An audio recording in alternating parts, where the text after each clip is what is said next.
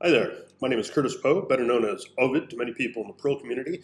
And today I'm going to talk to you about my attempts to bring modern OO into the Perl core. Note that is spelled C-O-R on this slide. That is not a typo. That is the name of the actual project, and you'll understand a bit more about that in a moment. As for myself, I'm with All Around the World. Uh, you can find me on Twitter at Ovid Perl. Uh, if you need to, you can email me, ovid at allaroundtheworld.fr and amongst other things, you possibly know about TauStation.space, the narrative MMORPG that we're building in Perl. A lot of fun. Highly recommend you go out there and try it. And it's completely free to play and runs in about browser and very accessible. But enough of that. We're going to talk about Cor. And when I first came up with the idea of trying to get modern OO into the Perl core, I was actually picking up the work of Stevan Little.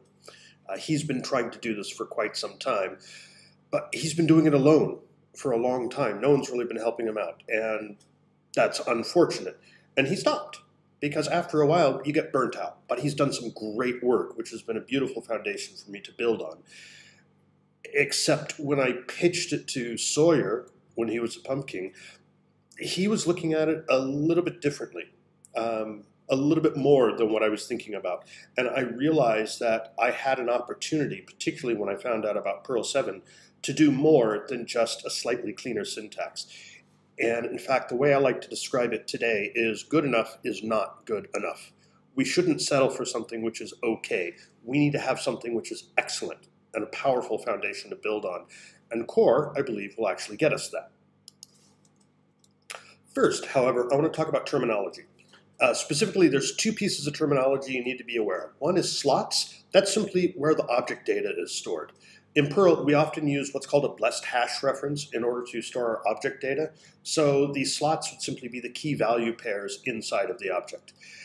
Attributes, in this case, are special modifiers which can apply to those slots to augment the behavior, such as providing a reader attribute so people out so code outside of the class can actually read that. That's all the terminology you need to worry about, except for the name, Corinna. Corinna is the long name of this. Corinna was a woman that the poet Ovid wrote uh, love poems to, and I just happened to think that that was very nice when it was shortened to Cor to fit in there. Many people have pointed out that the name Cor is a little bit confusing if we're talking about putting core in the core, so just call it Corinna if you want to, and don't worry about that. But to understand where we're coming from, I want to talk about value first. Um, so why a picture of a pizza on the screen right now? Well, let's say you want to open a pizza joint in a town, but they already have a pizza joint and you need to beat the competition. So you're thinking about different ways. You know, do I want to offer my pizza for a lower price or do I want to provide a better quality pizza? Turns out economists can actually answer that question. They've learned a long time ago that if you offer a lower price, something's perceived as being cheap, of lesser value. It doesn't matter what the quality is, if it is cheap it is considered to be poor. So actually, the price versus value debate shouldn't even be a thing.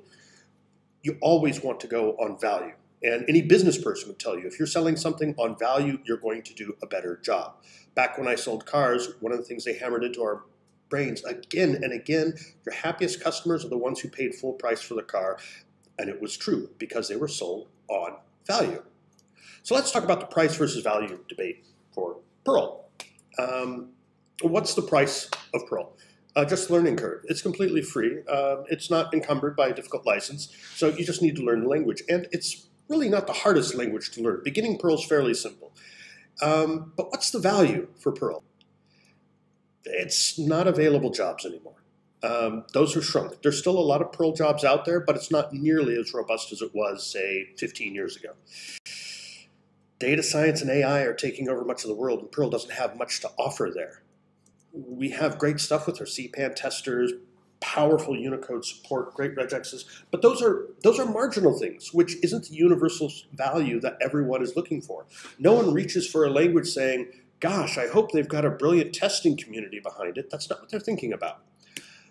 Object-oriented programming, that's interesting because most developers, after a while, get into object-oriented programming and they want to learn how to make it work better for them. This is a powerful value that applies to many, many developers, and we can offer. So, a new developer. how do I write object-oriented code in Perl? You can fall back on blessing references and what the heck is that? But today we, we tend not to do that. Instead, first of all, you grab a CPAN client. Why, why, what? Okay, that's not the big of a deal. We're, we're used to installing extensions all the time, but for something which should be in the language itself, that's a little bit odd. Then you have to pick an object-oriented system. Wait, what do you mean I have to pick one? Well, just, just pick one of those. And then we tell them, no, don't, don't choose the ones they actually chose. So you tell them moose or moo or something like that, and then the build fails after 15 minutes because you're getting an obscure error message like you got an undefined instead of an empty string. What does that even mean anyway? And then you tell the developer, look, just force the install. And that's awful. When you come to a language, you want to learn how to do the things that you want to do. And when you have to jump through all of these extra hoops in order to get there, it's awful. Everyone wants OO, not everyone, but most do. And there's a steep learning curve learning about installing it and which OO system to choose, and it's a mess. And most of the OO systems we have out there on the CPAN today are broken. Um, they're not always broken because of the limitations of the author's imagination. Sometimes it's limitations of Perl itself. But instead, we need something a little bit more. Um, but the situation we have now is quite often I go into a client and many times they have their own in-house OO system. So now, instead of leveraging my knowledge of the language, I have to spend time learning the quirks of their particular system. The more times we have to learn the quirks of something outside of the core of the language, or should be in the core of the language, we're dividing up our knowledge, and that's not a good thing. I want to go into a client and hit the ground running as quickly as possible with standardized tools. And that's kind of hard to do when I'm going in there and you chose that OO system. Well, fun. And for the record, bless is not the value that you are looking for. Absolutely not. That's bless is kind of like the assembler for OO language. It's the down at the very basics where you can put everything together yourself. It's not always bad, don't get me wrong, but that's not what we want for a new developer. We want them to get up to speed with something powerful. And it turns out we've got something kind of similar with Moose and Moo. They changed everything. They dominated the OO field in Perl because they were so powerful and so good. But they're not in core. And so that's the question, what should be in core? And that's what I want to address right now. So most of these object systems are incomplete. Uh, many of them, uh, they provide you getters and setters and maybe a default constructor, and that's it.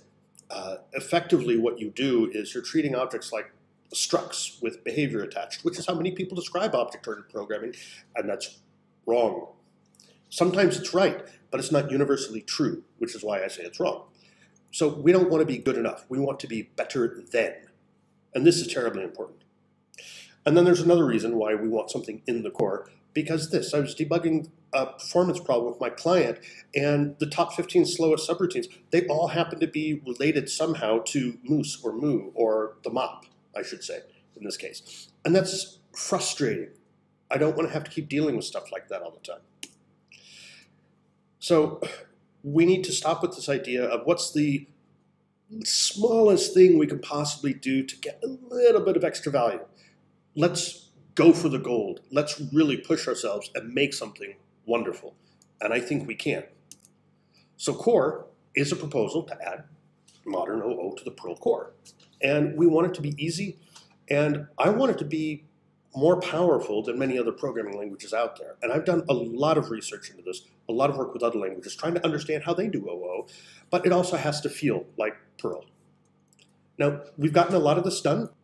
Uh, we have a grammar for the basics of Cor. We have a, a, here's another grammar just specifically for how the methods will be designed. You don't need to worry about those.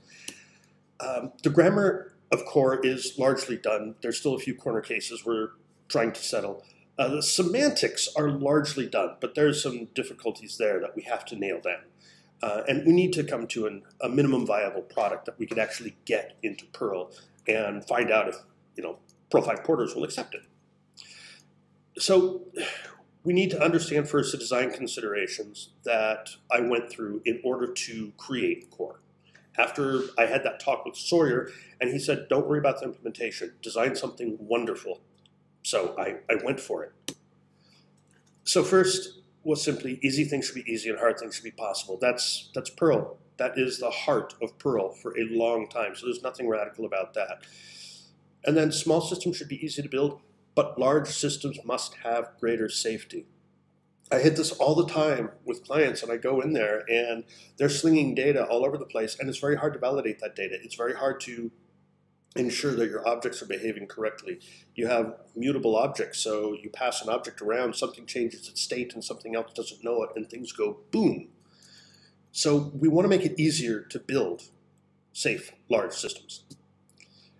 And this is a lot of work, has been a lot of work, but trying to decouple data from the accessors, from the constructors, the, the has keyword that you have for Moose and Moo. And we want to encourage smaller interfaces so that you don't, uh, we don't offer promiscuous data. We don't offer too many things. Uh, I won't go into that too much right now, but if you're familiar with OO design, uh, you understand why that's valuable. We also want to cater to new developers. That is extremely important. When I say new developers, I don't just mean new to Perl, I mean new to programming. We need to have something easy. So when you're looking at this line, this is from Moo. Has name is RWP. What the heck is RWP? It means read write protected. Great. What does read write protected mean? For Cor, has name and it has a reader. Once you understand Cor, it becomes very simple. You don't have to remember anything. It's not hard to figure out what that does. So this is part of the thing. We're trying to make this simple and easy and still feel like Perl. As a counterexample, Paul Graham, when he created Arc, he wanted it to cater to experts and only experts. He didn't want to have to hold the hand of the newbies, so to speak. And as a consequence of that, Arc is dead. It was hard to pull in new experts, uh, new people to the language because it was daunting in many ways. Uh, he didn't make it simple, unfortunately. Uh, and you can go out to their message boards now for development. You can see not too many people are touching it anymore. Aside from Hacker News, nope, that's it. Arc is gone. Cor, however, it's very opinionated. It's my opinions, sorry. Uh, I started that, though I've been taking a lot of feedback from the community. It's very Perl-ish. It does require some evolution to the Perl language, and it's designed to be practical. Designed on years of experience, working in companies, and also lots of time reading books on object-oriented design.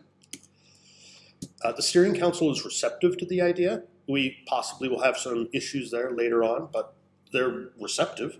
Uh, Stevan Little's talked about building a transpiler so Cor could work with older versions of Perl. Uh, Paul Evans has been hacking on ObjectPad, which is been able to test bed a lot of the ideas. And one of the interesting things about that is object construction currently is a little bit slower than Core Perl, but the object runtime is much faster. So that's and that's without his attempting to optimize anything. So that's just fantastic news right there. Uh, we definitely welcome community input. You can go to ircperl.org, uh, the Cor channel, uh, or ovid github or github.com slash ovid slash Cor, and there's a wiki there that you can read. You can also read some of the issues and add comments there if you prefer to participate that way. All the Cor syntax you're about to see is highly speculative. So it's mostly there, but it's some of it's going to change. I know that. And forget about the data types initially I want, wanted data types to be in Cor version one. The problem, however, is Dave Mitchell's working with data types for function signatures. We also possibly will eventually need data types for variable declaration. And the question of, you know, are we typing the variable or are we typing the data? How is that going to work? Um, and we're also going to need data types inside of Cor. So we don't want to have separate data type systems. So that's going to have to be unified across all of that. That's way too much work right now. I can't do that. So I'm not. But let's talk about the evolution of OO and Perl. Now, prior to Moose uh, came out in 2006, it was all over the place, and it was a mess. Uh, Moose tried to create something standard. This is from Moose 0.01. This looks a lot like Moose today. Uh, it didn't automatically incorporate strict warnings. Uh, the int, you can see, uh, you can see right up here, int was actually a function call. That was something that was exported into your name, namespace. Um, but most of that looks pretty much like we what we expect to see in Moose today. Uh, and here's a point class. I'm using a point class because there's other stuff I'm going to be able to show you later in relation to Cor, and you can see the evolution easily with this. You can see we have an x, we have a y, uh, and here we have a clear to clear these values. Very simple. You've seen this before. Moose has a number of issues, which I won't go into all of them, but uh, Stevan Little, in his attempt to bring modern OO to the Perl core, uh, eventually came up with Moxie, which is a powerful OO system, much cleaner, uh, runs faster than Moose. Here's how you declare slots. Remember I mentioned that term in terminology earlier, slots, your data, uh, and assign it default values.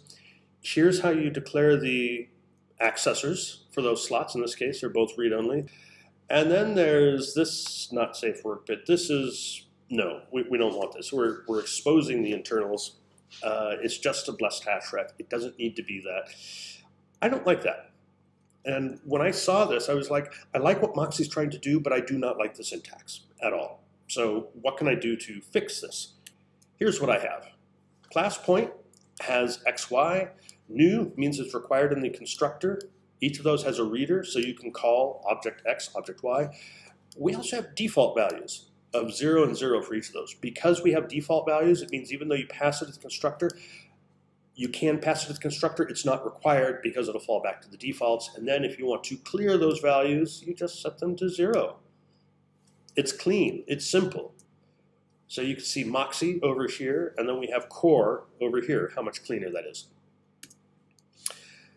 Now, Moose was great, but it's a bit slow. That's part of the reason why Moo came about. Um, it does have some bad affordances in there. It encourages your data to be promiscuous, which I'll, I'll get to that in just a moment. Uh, it's clumsy for a lot of the use cases that we want, and I will show more about that. Uh, and Raku has some great ideas, but Raku is a different programming language and trying to backport some of the ideas from Raku to Perl has already proven problematic. And there's a number of things with list flattening and stuff which make some of the data declaration complicated. So we're not going that route. But let's look at Moose. We're going to look at has, the way you declare a slot. It handles your slot declaration, and it has attributes, which in a different sense, which is a heavily overloaded term, handles data types, coercion, delegation, clears, predicates, blah, blah, blah, blah, blah. It handles all this stuff you want to talk about an overloaded function, which is doing way too much. And Cor has handles slot declaration. That's all. That's it. You have a slot of data in your object, nothing else. It makes it simple, it makes it easy to reason about.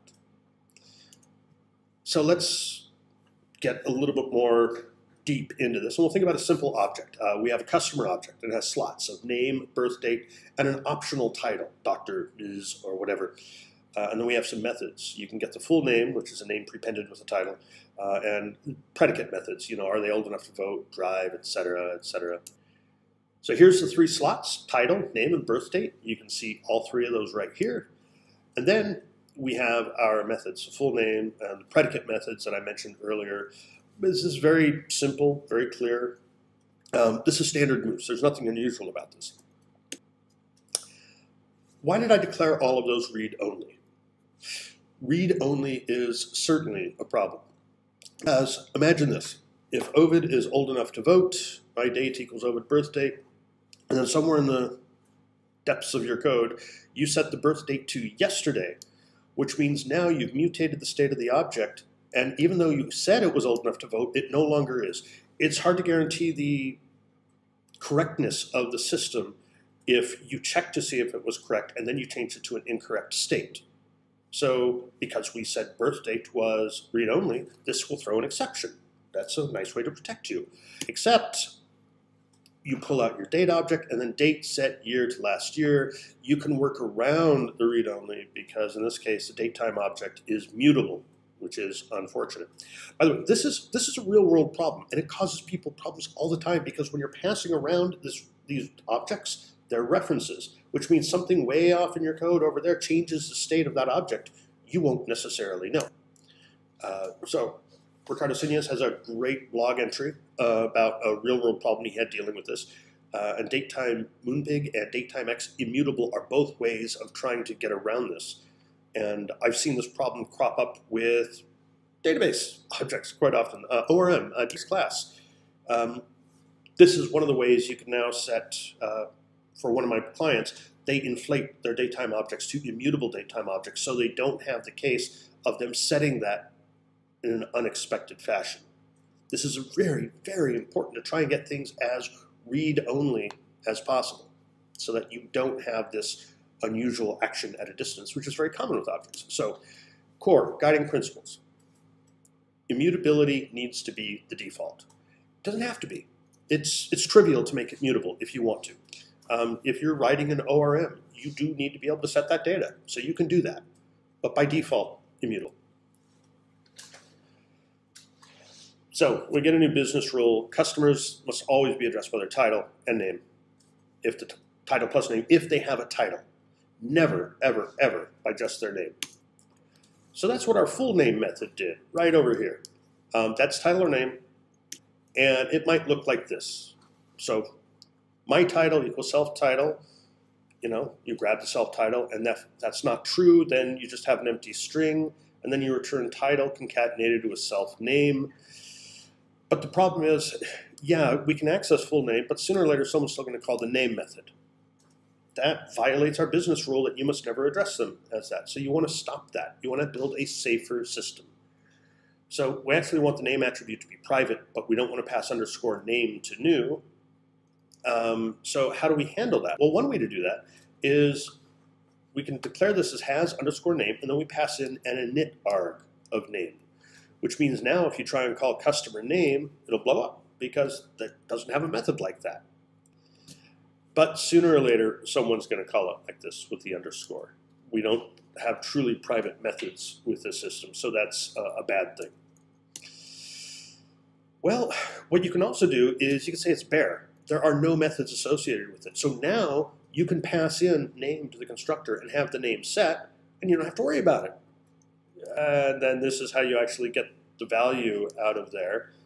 And nobody actually does that. No one, no one bothers. It's too much of a pain. So instead, init, arg, and bare, they're, they're kind of clever but ugly solutions. And this is partially due to how the Perl syntax, what it does and does not allow, and has conflates too many things together. So Cor attempts to break that. So when you're designing an object system, by default, you don't want any public data methods whatsoever. No one can read any of the data that you passed in. Expose them one by one as you need them. And that's very important. And only when you can see that that's necessary inside of your code. In Moose, that's kind of painful to do. It's a little bit frustrating. So Cor, private data needs to be easy, and we don't want to encourage promiscuous data. Don't hand that data out there and expose it to people when they don't actually need it. So in Cor, this is how we would do it. We have our name up here. Um, again, the type syntax is just for amusement purposes. You can ignore that. Uh, we say that the name is required in the constructor. So method name, if we have a title, we return title and name. Otherwise, we just return the name. Very simple, very easy, and nothing unusual about that. We didn't provide a reader for any of these, by the way. So no one can read this outside of this code.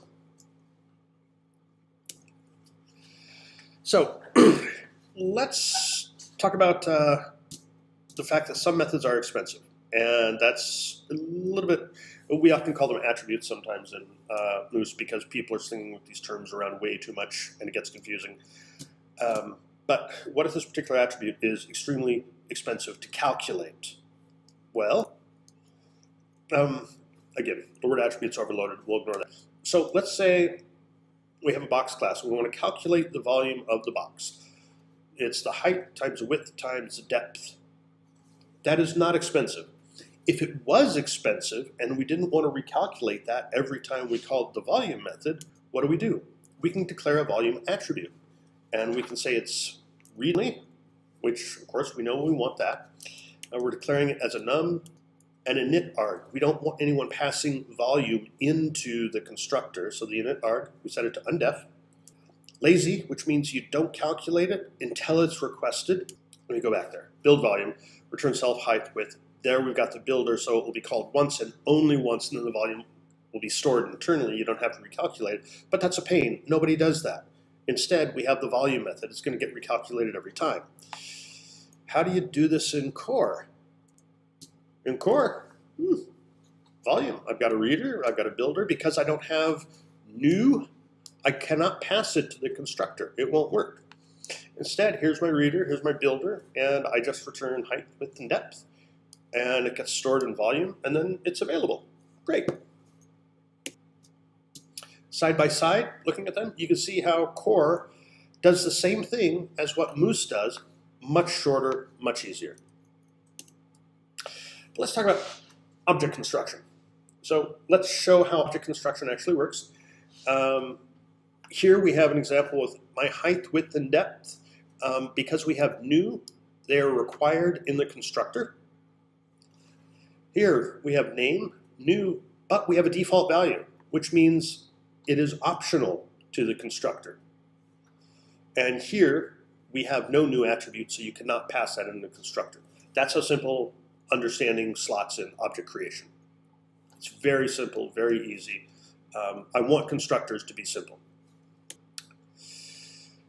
So let's uh, take a look at this. Uh, here's how we're going to have this in Moose. We have our height, width, and depth. We say box volume. That all works fine. What if we wanted to pass in uh, a single argument for box? This means it's actually a special case of the constructor. It's a cube, seven units on each side. We say the cube volume, 343 cubic units. What does that actually mean? How do we do that? Well, in Moose, we build args. If 1 equals args, that's how many args we had, then we set our height, width, and our depth to that number, and then we call the original version of the constructor, and it all magically works. I can pass that in. Except that fails horribly, because you might recall Moose allows you to pass in key value pairs or a hashref of key value pairs, which means a hashref is a single argument. And then you wind up with this weird error. Attribute depth does not pass the blah, blah. What is, what's going on? what's going on is right here. We check that we have one arg, and it's not a reference. And then we can go ahead and do that. And even this is a little bit sloppy. In fact, this is what I do in my code all the time for my clients. Um, I'm just hoping this works. My args, if one equals args, then this is how I dereference it. Otherwise, I take the list. You, you don't want to have to do that in Perl. How does Java handle this, though? Well, Java, they can actually have overloaded constructors um, so here we've got a double, double, double width, height, and depth, and then you've got the length. And it's actually pretty simple. You can call this either way, a new box with the three arguments or a new box with one argument, and it does the right thing. So looking at this, we've got this ugly mess with Moose, and Java actually makes us look verbose. Java makes Moose look bad, which is embarrassing. The downside of this, though, because Java doesn't use named arguments, you can't tell which of those is the height, width, or depth. And to me, this is a design flaw in Java. I, I do not like seeing that. Um, in Cor, how would you do that? simple, height, width, depth, new reader. Um, I have a, all of this is, you've seen this before, we've talked about this. Instead of build args, we have a construct method. We call it construct because it behaves a little bit differently from build args. Uh, if I only have one argument, then I know that's for the overloaded constructor, and I map those out to the height, width, and depth, and I just return the args. That it's easy. Uh, and then I have this uh, private method, build volume, which just, all of this just works exactly as you expected. There's nothing fancy. Uh, so Moose, we have the build args, which is very funky because you have different ways you can call the constructor in Perl uh, in Moose, and then you have Cor, which is one standard way of calling that constructor, which is what you want. Or you can just have a separate constructor called new box, and the argument's class num, class new, height, width, whatever. That makes it all very simple, and you can call it right there. But do you want to have multiple constructors, and then you have to document this is my new way of creating a constructor here? That's, no, I don't like that. So Cor is just make object construction easy. A lot of the things which are kind of tricky in Moose or Moo, dead simple in Cor because we have decoupled the slot declaration from the behaviors associated with that. So now we're going to look at, uh, say, classic OO, where we're going to bless a reference. You might notice we have underscores before this. Why is that? People might remember a long time ago what we used to have in Perl is you would have underscores because that's the private data inside of the object you weren't supposed to reach in and grab. Today we know how silly that is. You're not supposed to touch any of that. You're supposed to go through the interface. But that was common behavior back then. This class in Moose looks like this. I've got just two attributes. It's very simple. It's very easy. Um, and here it is in Cor. I have my name, I have my birthday, I've got a reader for each of those. Each of those is required in the constructor, and again, the dates are for entertainment purposes only. So there's core Perl, and here's Cor, or Corinna. You can see how much easier and simple it is to construct an object. Most of this becomes declarative now, except for the special behavior you need inside of your actual methods. So, object systems, what we tend to have for Perl is many of them, uh, they're just public interfaces for you know grabbing data, grabbing all the data, and you don't want that. Uh, Moose practically requires public methods, and you don't want that. You want to be able to hide this data away and only expose it as needed. Uh, everyone wants public methods. You just add, if you want to expose your data, just add a colon reader after your attribute, done. That's simple. So attributes for data should be easy in Cor. So let's look at a more complicated example, uh, something which might look closer to real world code. So here's a, a least recently used cache, or LRU cache, where basically you have a set number of items inside of your cache, and the items which have been least recently used are ejected from the cache when the cache fills up. So the more frequently you request a particular item, the more likely it is to be present in the cache. Uh, and they have some great uses. They're not always appropriate, but it's this, this code's too small. I know you can't read it, but that's because Core Perl is going to be a little bit verbose. I could Moose it becomes a little bit smaller.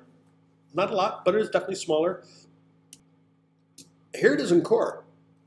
Now you can see how much smaller this code has become. You can see things like uh, we have created, we've got a reader for it, and uh, the default value for that is time. Uh, because it doesn't have new, it just means as soon as you create this object, it'll have this value set. And we can check, you know, if LRU cache created minus time is greater than such and such a value. We could do something with this. All is so this is like a nice non-lazy default that we have available. Uh, here we have the actual cache, which is going to be a hash ordered object. Uh, again, we don't have new in there, so you can't set it, but we could just access this variable directly in our set method.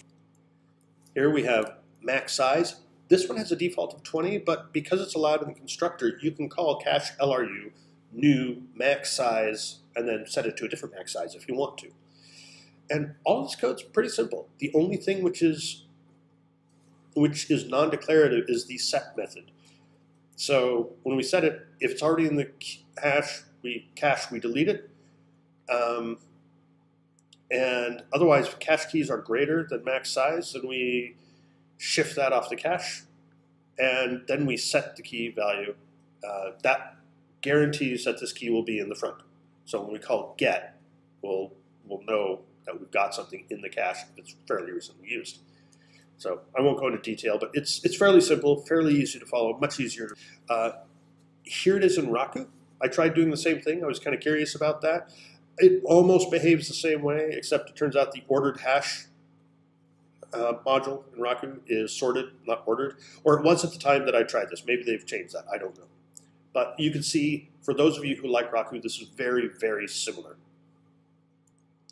So has is, is like my. It just declares a variable. Declares a slot in this case. Uh, and again, it has attributes allowed for it.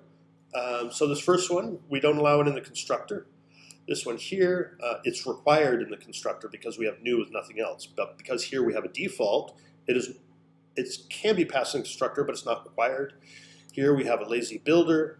Here we have a reader, a reader. By the way, the builder might not be lazy. We are still defining the semantics, and it may be the case that we're going to add a cold and lazy attribute later on. Um, so again, all this, it's simple, it's easy to read. Um, here's some more examples of the slot attributes. Um, We also have weak in case you need to weaken it. We have clears, we have predicate methods, uh, delegation. You can rename it in case you need it to be referred outside of the code by a different name. We do have an legal combination of builder and the equals default because equals default is kind of a synonym for builder.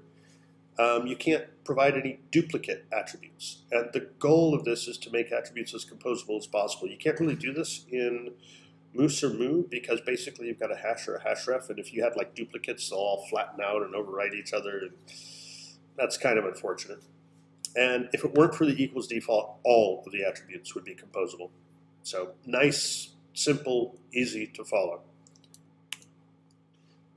So Cor should support types eventually, but it's not going to in the first version. Uh, I'm pretty certain of that, uh, simply because there's too much work to be done there.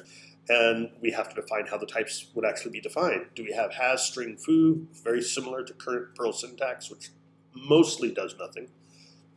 We have this colon is a syntax, which matches the attribute syntax of everything else inside of Cor and is nice and easy to extend.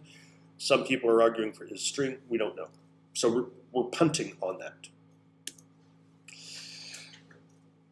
As I mentioned, Paul Evans has been working on Object Pad, and that's been a great test bed. And he's come to me sometimes, he's asked questions about how does X work? Or I've come to him sometimes and I've asked how does X work? And that's helped us refine a lot of the ideas, and it's working very well. It's nice to see that the core concept is simple and easy, uh, but there's still a lot more work to do. Uh, it will probably, if it gets available, will be under use feature class so that we have a guard to make sure that it's safe. And the steering committee, committee might just veto it. Or P5P might veto it. P5P might say, yeah, that's really great, but there's too many changes to the Perl core and we just don't want to maintain it. We don't know yet. Uh, but P5P, or sorry, the steering committee is receptive to the idea, which is good. So if you go out to the CPAN right now, uh, you can play with Object Pad. Uh, very, very similar ideas. So this code works exactly as you would expect it to, which is a, a lovely thing. But there are some objections to Cor. So the first one, which I keep hitting all the time, is bless is good enough for me. We don't need anything more than bless. Uh, my response is we're not removing bless from the core. That, that's fine. No one's proposing that. Um, and if bless is good enough for you, absolutely great. That's fine. But don't say that I have to choose something because you prefer bless. That's that's not fine. Don't take this away from other people. Why don't we put moose in the core or moo? Well, moose pulls in a huge slew of modules, which would then have to be maintained. That would is an absolute nightmare, and it does have some of the wrong affordances. Moo is a little bit easier, but the problem with Moo is you've got the meta method, where you can call make immutable on it, and that's a no op, but if you call anything else on meta, that actually inflates the meta class, inflates your moo object to a moose object, which means you still have to have moo in core, or you have to moose in core, or you have to tell everyone moo no longer works the way that it used to, so it's not entirely backwards compatible, and that's going to cause a lot of problems. And again, it has the wrong affordances in how the objects are constructed. Again, we have this, moose has, it's doing way too much and good enough isn't good enough. We have to be great. We have to be better than. And that's what I am striving for with this. Some people say we should just make this a module. Okay, fine. Then we get lost. Everyone knows the problem with this. We're going to get lost in that mix. And the XKCD cartoon, you know, there's 14 competing standards. We're going to make a new one which will cover all the edge cases. Now you have 15 standards. We don't want that. Might come in handy uh, it might come in with Perl 7. We don't know what's going to happen with Perl 7 yet because that's been put on hold for a while while Perl governance is being restructured. Um, so pretend I didn't say Perl 7 there, but at least in Perl 7 or Perl 8, we might get rid of the feature guard and it might become standard in language without having to worry about the experimental nature of it. But it does mean if we follow this, we can do a lot more. Um, we don't have to stop there because Cor introduces a new syntax. What if we also have module submodule instead of class submodule? Uh, and inside of that, everything has a new modern syntax, such as automatically having strict and warnings enabled. We could have typed signatures. We could have multi-subs, which solve all sorts of problems, can really make your code very clean. We could have typed signatures and multi-methods. You know, we can get the best of both worlds in that. We could possibly have typed variables.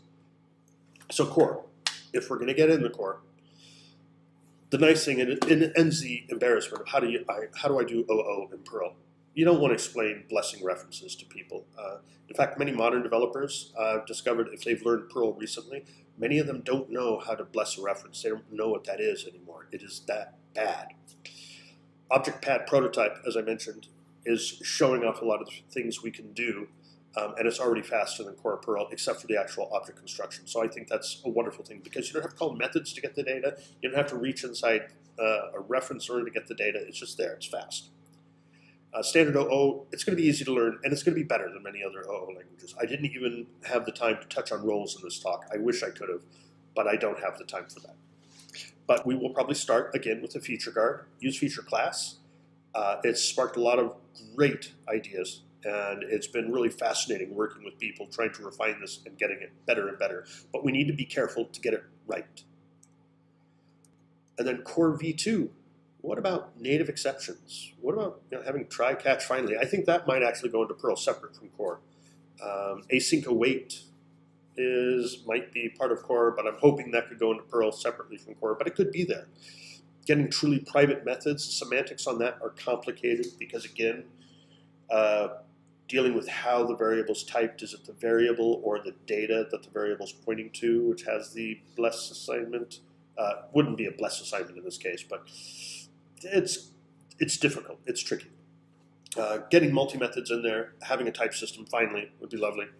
Um, there's all sorts of things we can do. It opens up a huge amount of possibilities. So Cor is clean. It's simple. You get real methods with Cor, not the subroutines which have self passed as the first indicate. Uh, and then it just kind of works together. Um, and they'll be marked as methods internally, which means the mop can understand if you're trying to call a method that you don't accidentally try and call a subroutine which happens to have the same name we're decoupling the data and an object construction, which makes it much easier to understand and comprehend the system and to build it. We don't know what the MVP is. We're still working on that.